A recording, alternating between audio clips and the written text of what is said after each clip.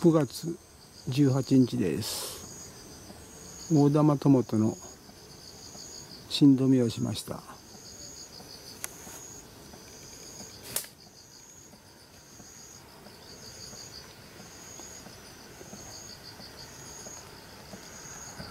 花の先端2葉から3葉残して芯を止めています。んな感じです。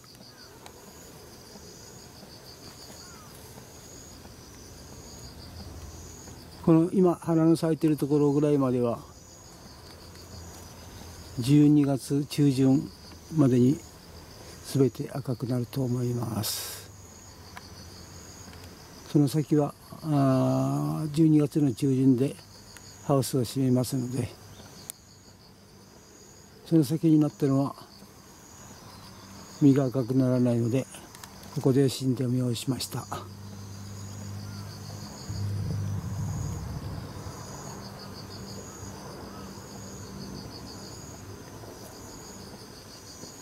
中玉と小玉については1週間後に新止めをしたいと思います。9月25日です。中玉トマト新止めしました。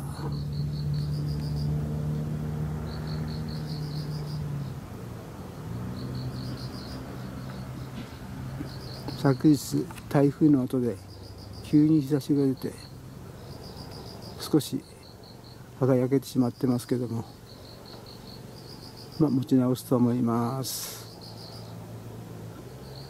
これが中玉トマトです。これを新止めしてます。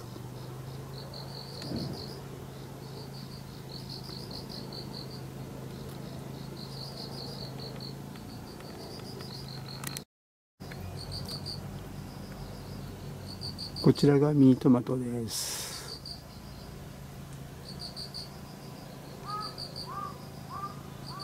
中玉トマトミニトマトともに今新止めすると12月の中旬頃ほぼ最後の収穫が終わりますんで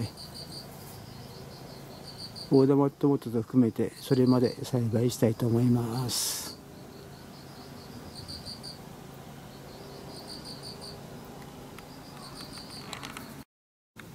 そしてこれが根元の様子です。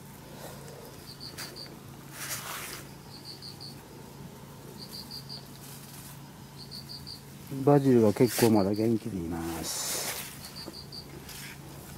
一株沖に入れてますけども効果あるのは不明ですけどもまあ元気で育ってます。トマトも大丈夫です。つるが折り重なってます。そしてここでからが中玉トマトになります。ミニトマトよりも少し太めのつるになってます。全体で言えばもう10メーターぐらいは1本伸びてると思いますけどもまとまってこんな感じです。バジルも元気です。